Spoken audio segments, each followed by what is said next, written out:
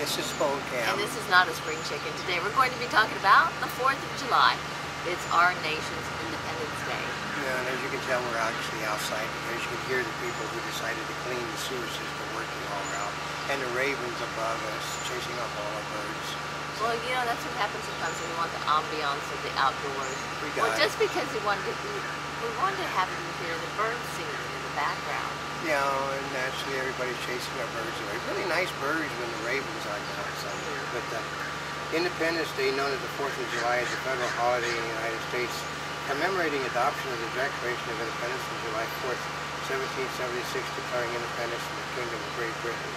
It's commonly associated with fireworks, black stage, no longer fireworks, parades, parades no longer, barbecues, carnivals, fairs, picnics, concerts, baseball games, family reunions, and political speeches and ceremonies. That, that's actually the only thing that's still there. So, And shopping. and sh- oh, shopping now. Yeah, Because it's no Fourth, longer. Fourth of July is a major holiday with Independence Day being on a Friday. Most of the people, let's just say, are ready for an extended weekend, basically halfway Thursday, mid Thursday, sometimes all of Well, Thursday. we through started Sunday. Wednesday. Yeah, they Remember did. that all the movies started Wednesday? Yeah, we have to go check and see some movies. Yes. And the second day of July, 7th, oh, well, actually, part of it is, um, where did the 4th of July come from? Well, during the American Revolution, the legal separation of the 13 colonies from Great Britain occurred on July 2nd, 1776, when the Second Continental Congress voted to approve a resolution of independence that had been proposed in June. After voting for independence, Congress turned its attention to the Declaration of Independence, a statement explaining this decision, which had been prepared by committee of five with Thomas Jefferson as its principal leader or author.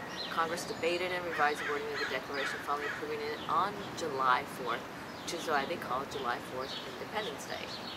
And as we're finding out this morning, that uh, the things that were in the Declaration of Independence are now being revisited because they said none of the things that were in the Declaration of Independence were met as, as the Republicans are interpreting them. Well, isn't that always subject to interpretation depending on um, I know. who's, who's ruling? Well, they say the well the Bible is I mean the uh, the Constitution is a living document and uh, open to interpretation of, during the time because it was written by a bunch of men in white wigs and it has no relevance to today, so they interpret it. But now they're screwing with the Declaration of Independence, and that is not going over happy with a lot of people in this country. So, It's the foundation of our country. yep. Yep. And the second day of July 1776 will be the most memorable epoch in the history of America. Um, this was when John Adams wrote to his wife Abigail. Boy, was he wrong. I am apt to believe that it will certainly be celebrated by succeeding generations as a great anniversary festival. This was the second day of July, um, not the 4th of July. It ought to be commemorated as the day of deliverance by solemn acts of devotion to God Almighty. It ought to be solemnized with pomp and parade, with shows, games, sports, guns, bells, bonfires, and illuminations from one end of this continent to another from this time forward forevermore.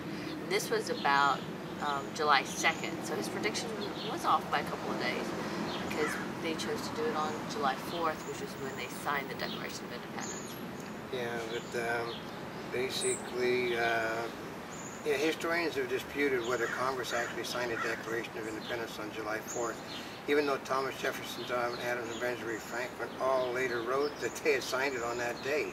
Most historians concluded that the Declaration was signed nearly a month earlier, uh, you know, nearly a month after, which is August the 2nd, not the 4th of July.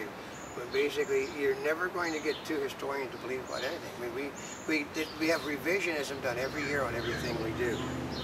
So, in remarkable coincidence, both John Adams and Jefferson, the only signers of the Declaration of Independence as presidents, died on the same day, July 4th. Oh, I did like how it's like all three of these people wrote that were signers of the Declaration that happened on July 4th, yet they don't believe them. I know that you know two presidents and Benjamin Franklin, they called them liars. So, Well, I guess part of it's from when it started versus when it ended, but my I thought they were all in the same room. they were all in the same room. I mean, they were so, all the way it What they worked. do, ran out of ink and it took a No, month they to said that was it when uh, when John Hancock put his thing on big signature on it. It said you're John Hancock. He, John Hancock, he said we either die separately or we all die together. Mm-hmm. So that's why it was done at the same time. There was no dribbling it out because it would never have been done.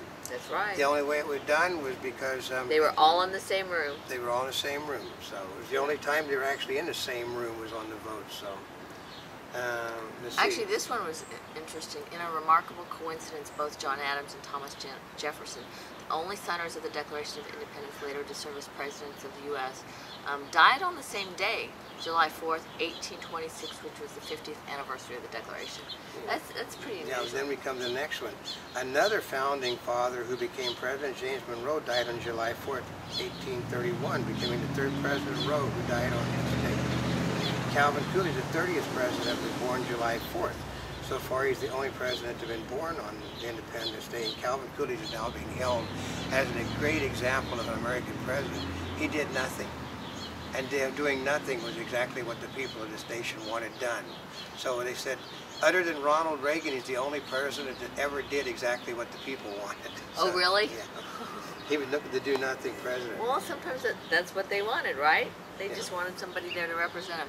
So, in observance, okay, an 1825 invitation to an Independence Day celebration in 1777, um, 13 gunshots were fired in salute, once at morning and once again as evening fell on July 4th in Bristol, Rhode Island. Philadelphia celebrated the first anniversary in a manner mo- um, modern American will find quite familiar, an official dinner for the Continental Congress toasts, 13 gun salutes, speeches, prayers, music, parades, um, troop reviews, and fireworks. Ships were decked with red, white, and blue. Yeah, that's traditional, but that's all going to be going soon too. In 1778, George General George Washington marked the 4th with a double ration of rum for his soldiers and artillery salute. Um, across the Atlantic Ocean, ambassadors John Adams and Benjamin Franklin held a dinner for their fellow Americans. 1779, it fell on a Sunday. This was celebrated on a Monday, which we have a tendency to do a lot in this country for holiday reasons. And, and I, Well, they want that extra day of holiday, that's why. Basically, uh, in 1781, Massachusetts County uh, General Court became the first state to recognize July 4th as a state celebration. In 1783, uh, Moravians in Salem, North Carolina held a celebration of the 4th with a challenging music program assembled by Jonathan Frederick Peter called the Psalms of Joy. The first recorded use of the name Independence Day occurred in 1791. This is really an old thing, folks. In, in 1820, the first Fourth of July celebration was held at Eastport, Maine, which remains the largest, which remains the largest in the state. In 1780, U.S. Uh, Congress made Independence Day an unpaid holiday for federal workers. In 1983, Congress changed it to be a federally paid holiday. So, So what do you see for customs for the 4th of July? Well, in addition to fireworks, um, Miami, Florida lights one of its tallest buildings with the patriotic red, white, and blue color scheme on Independence Day. Some of the biggest uh, fireworks that we see is in New York City.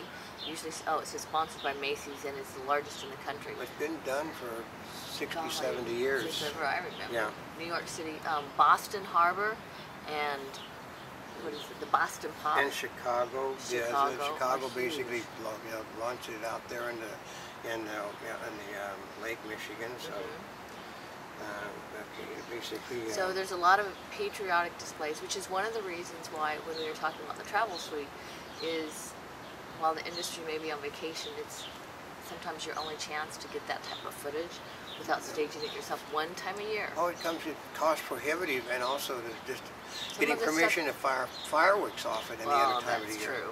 Now, what you have to do is you have to substitute Chinese New Year where fireworks is allowed. Then you can actually shoot, you see fireworks being lit, so, because they do have fireworks celebrations in the sky on Chinese New Year.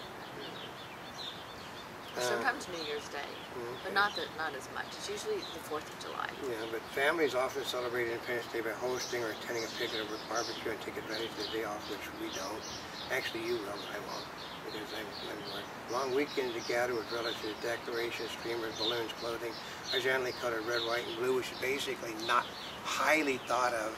If you're seen in a, in a red, white, and blue outfit, they call you an extremist in our country now, if you're something. I guess I'm an extremist because that's what I'll be wearing for the Oh, holidays. see, my hat makes you really extreme. What? And because I have these glasses on? You know, um, the night before the 4th we went to focus celebration Mark by um, uh, gracious gatherings, often incorporating bonfires. They put out the bonfire. They were all assured to see basically the same. the same- But Independence Day fireworks are often accompanied by patriotic songs, which is also on the way out now. They, they're wanting to con- they're actually wanting a national anthem to stop being performed because they consider it to be a, a racist song.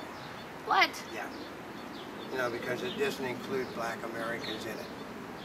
It doesn't include white Americans in it either. So, but also doesn't bother with the fact that a lot of the people that there at Fort Sumter were uh, black naval uh, black navalmen that were loading those tanks. Or here's a historical fact: the man that put the flag up for the last time before they, you know, for uh, for Francis Scott Key was actually a black American. That was his job because he was a, you know, he was That was the just flag his job. So in the middle of a in the middle of a tremendous gunfire, he goes out and puts a flag up that's, that's as big as a house.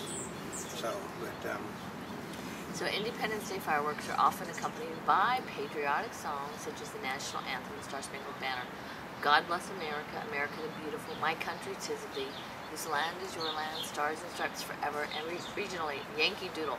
Why is Yankee Doodle regional? uh, Is that more East Coast? because uh, Yankee Doodle is at uh, from the Revolutionary War, and that's East Coast. But I hate Oh. to tell them this. Uh, you know, Yankee Doodle happens to be something.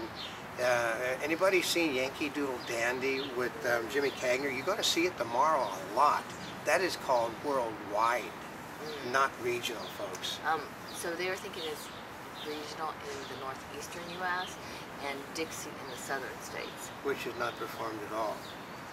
No one performed Dixie anymore. They call it racist. Really? Why?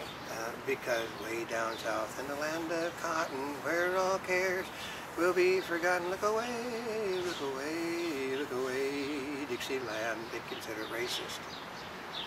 So it's, it's, just... if you perform it, they give you all kinds of tips. Oh gosh. See, political correctness, what is it coming to? So fireworks shows are held in many states and many fireworks are sold for personal use. Um, you have to check it, your local ordinances. There- There are some places where you can do fireworks and there are many places where you cannot do fireworks. So it's really important to know where you are. We, we weren't allowed to do fireworks when I was growing up, but my father was a police officer, so and we had we had a truck farm in, in Culver City. So you know, back behind where they burnt the Atlanta folks, that's where we lived. That's where our farm was. You- and, you- yeah. and we basically would uh, we'd soak the we'd soak the grounds for like a week beforehand. So you could do go out- fireworks. Oh God, yeah. Well, usually the indication that you can do fireworks is that there's a fireworks stand in the area.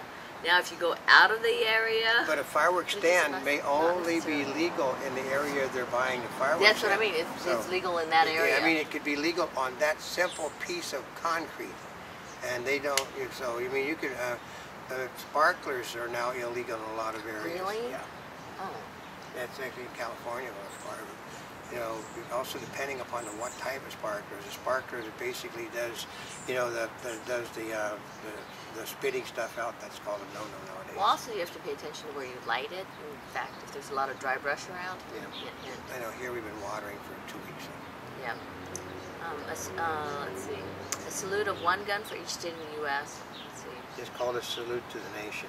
is fired on Independence Day at noon by any capable military base. That's right. Yeah. And here's one in New York. 2009, New York City had the largest fireworks display in the country with over 22 tons exploded. Uh, other displays were Chicago, Lake Michigan, San Diego, Mission Bay, Boston, Charles River, St. Louis, Mississippi, and the National Ball, National Mall in Washington D.C., which I'll be watching tomorrow night. During the annual Winston um, Detroit International Freedom Festival, Detroit, Mission hosts one of the largest fireworks displays over the Detroit River to celebrate Independence Day in conjunction with Windsor, Ontario celebration of Canada Day, which is the same day, folks. Okay, uh, anybody here? Oh, Canada. You know, we da da da da da. There we go. Uh, then you can go to the, the, the star, you know, the Star Spangled Banner, which basically da da da da. da. It's an Anacreon in heaven. They're both from the same drinking song. That's why we celebrate like the same time. We had the same people drinking. It. So, I know. Um, on the 4th of July, participation may levels according to which day of the week the 4th falls on. If the holiday falls in the middle of the week, some fireworks displays take place during the weekend for convenience, again varying by region. This year it's on Friday, so I mean, so it's going to be a great big monster. There'll be a lot. Uh, the first week of July is typically one of the busiest travel periods of the year as many people utilize the holiday for extended vacation. Not anymore because even the staycations are dead now because people can't afford the gas.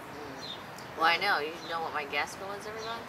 Yeah, so we can't, it just keeps going crazy. up. Uh, originally entitled, oh, you, and you, uh, originally entitled Yankee Doodle. This is one of several versions of a scene painted by uh, M. Willard that came to be known as the Spirit of 76, often imitated or parodied in a similar symbol of American patriotism since 1785. Uh, the 4th of July Parade in Bristol, Rhode Island is the oldest continuous Independence Day celebration in the United States. Wow. So since 1868, Seward, Nebraska has held a celebration in the same town square.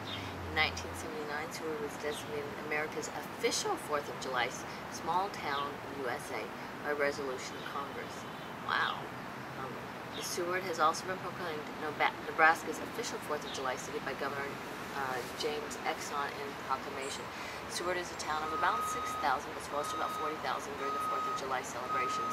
Since 1912, the Rebild Society, a Danish-American friendship organization, has held a July 4th weekend festival that serves as a homecoming for Danish Americans from the Rebild section of Denmark. Oh, I didn't know they celebrated in Denmark. You know, we come to find that we actually know. And, we, the we- Danes are very patriotic No, too. they're very patriotic. We, we interviewed some winners of the hot dog That's probably one of my classics. Yeah, Um, they thought that she was saying something else about the hot dog than what she was really saying. You know, can you take it all down? No, I didn't say that. Yeah. Okay, so since 1916, Nathan's hot dog eating contest in Coney Island, Brooklyn, New York City, supposedly started as a way to settle a dispute among four immigrants as to who was the most patriotic. Now, when we interviewed, they were doing a, a hot dog eating contest, and we happened to interview them on the um, the red carpet. Yeah. And I asked them if they had any tips on how to down a hot dog quick. Yeah, but they admits we found out that one of the people One of the that's, guys- that's Japanese speaks English real well. He started laughing, and that started it all. So, Those would be funny. Those are some of the classic interviews. yeah.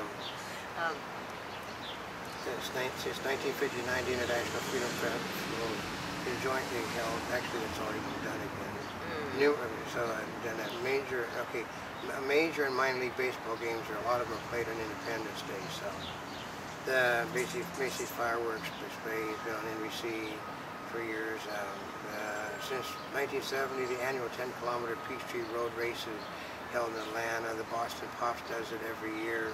I guess since 1973. Uh, been, it, it, basically moves around. Now it's just a local television event with the Boston Pops. So. It is? Yeah, Oh. one is the one that, that okay the the Macy's one is still a big one.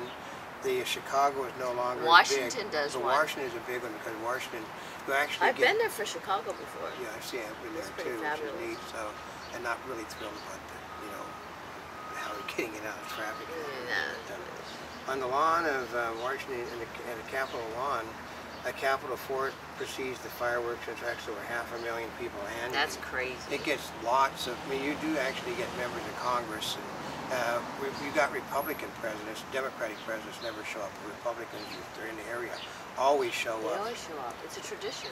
Yeah, because it's, uh, they want to sit there and be seen with their children and grandchildren sitting there. And then when the uh, 1812 overture, da-da-da-da-da-da-da, bum, bum, da-da-da, boom, boom, boom, boom, boom, boom, boom, boom. So I can tell people in 17, in 1976, I participated in probably one of the last things you're ever going to hear it, where basically what? we, uh, we, we went off the aircraft carriers and every gun in the United States Navy that night on every plane, every piece of equipment basically lit up the sky with tracers and bomb fire. Wow. I mean, just firing, boom, boom, boom, boom. What was, it was 1976, the 200th anniversary. Oh, a 200th. an- Yeah. Yeah, you, you weren't even around then, so you, would, you don't That's a remember big things time like that. anniversary. I know, I got to really just go. That sounds you like know, fun. Oh, it was fun because we were doing everything you're told not to do. We were doing overs and unders, you know, doing Oh. loops in the air, diving, firing, you know, everything you could think of. We actually, we were, um, we were, we weren't supposed to, but we did a simulated attack on the carrier.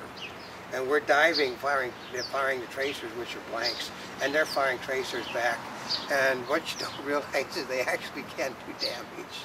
You ought to be hit. Oh, you hit by- tracers can do damage? no, the the the the, uh, the anti-aircraft stuff that they're shooting at you can do damage. I mean, that one got awful expensive. And we, you know, then it really looked good on television and for the movie people that were here shooting. But and I then when I, I, I. I, Then they told you how I had one of these on my shoulders at that time, so they didn't cause me problems. But they, the, the person that was higher up, he said, "You do realize that the Missouri was also firing, and and uh, uh, oh, Missouri was firing, and in New Jersey, and the Antietam, and and and the Big E." And they said every ship in the United States military and every plane that was in the air were celebrating they were dumped in 1976 just like they are today. Nobody reads the memos that says we will fire in continuous in, in continuous action until we run out of of things. It was basic continuous shooting. People simply thought we had some fun at it. Well, there was like a zillion people out there watching, so and then you know coming like then I, I got in trouble because I went I went over the flight deck, right over the top of the flight deck, firing my guns as I went. God awful great shot though. You people, you see the people diving for cover, and, and the communication, you know, go go go go go go go. Oh my gosh, what a celebration. Oh, we- What was 200 years? 200 years it only happens once, and everybody wanted to be a participant on it.